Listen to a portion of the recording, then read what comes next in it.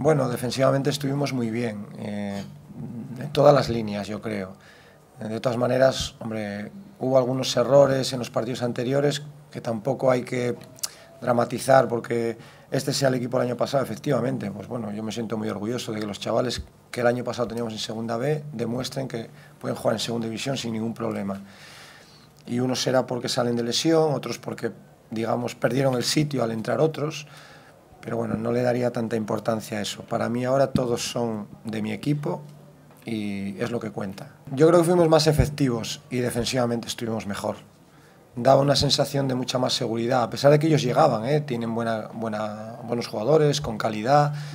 Seguía habiendo muchos centros al área, pero yo creo que ahí estuvimos mucho más sólidos. El centro del campo también respondió bien a las ayudas en defensa y cuando salíamos metíamos miedo se notaba que en cualquier momento podíamos marcar.